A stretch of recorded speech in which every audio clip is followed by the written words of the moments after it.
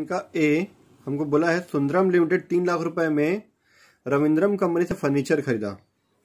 ठीक है, तीन लाख रुपए का फर्नीचर खरीदा। जैसे पिछले क्वेश्चन में हम लोग मशीन खरीदे थे एसेट्स परचेज किए थे, इस बार यहाँ पे फर्नीचर परचेज कर रहे हैं। इसके बदले में क्या किया वो?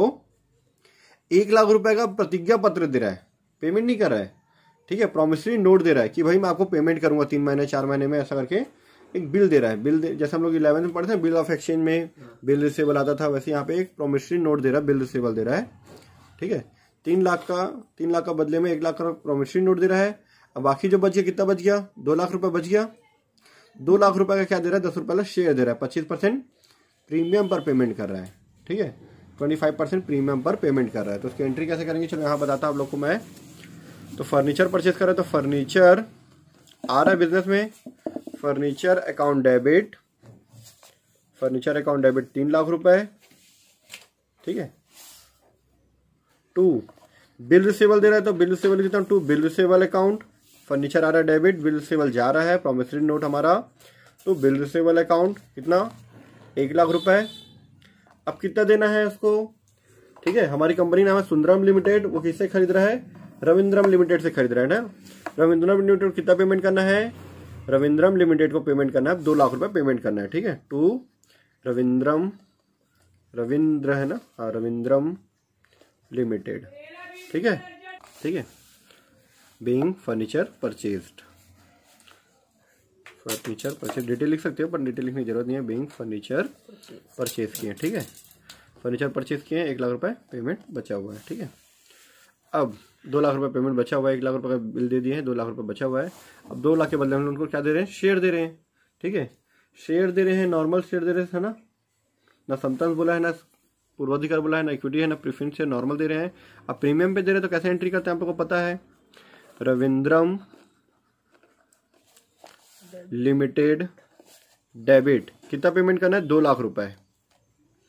ठीक है, इस क्वेश्चन इतना इंपॉर्टेंट नहीं है ये। फिर भी आप लोग पढ़ रहे हैं तो लिखते हैं to share capital account.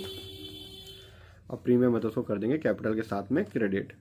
Capital के साथ में प्रीमियम हमेशा कैपिटल के बाजू में आता है, उसका दोस्त टाइप का। ठीक है? To securities, premium account. एकदम साथ साथ एकदम पक्के मित्र की तरह। और डिस्काउंट जो होता है उसका दुश्मन होता है, हमेशा कैपिटल के अपोजिट में आता है वो। ठीक है? कितना आएगा इसमें अमाउंट दोनों का निकालना पड़ेगा वो तो हम लोग को नोट्स में। Being share issued for consideration ऐसे लिखते थे हम लोग। Being share issued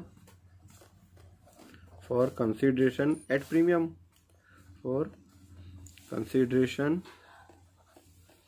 consideration at twenty five percent premium है ना? ट्वेंटी फाइव परसेंट प्रीमियम ठीक है? चलो उसका नोट्स निकाल देते हैं हम लोग, कितना कितना आएगा? टोटल तो हमारा पाँच लाख आएगा इसका। ठीक है?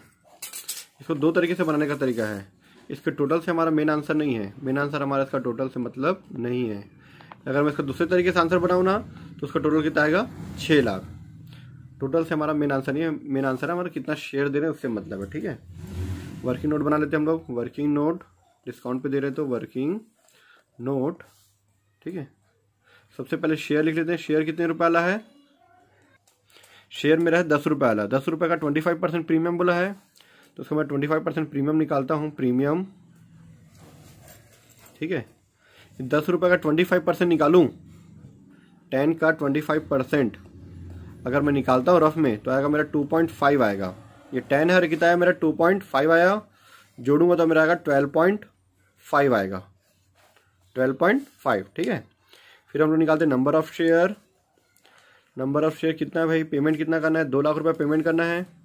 टोटल पेमेंट कितना करना है? दो लाख रुपए दो लाख को इस ट्वेल्व पॉइंट फाइव से मैं डिवाइड कर देता हूँ। ट्वेल्व पॉइंट फाइव से।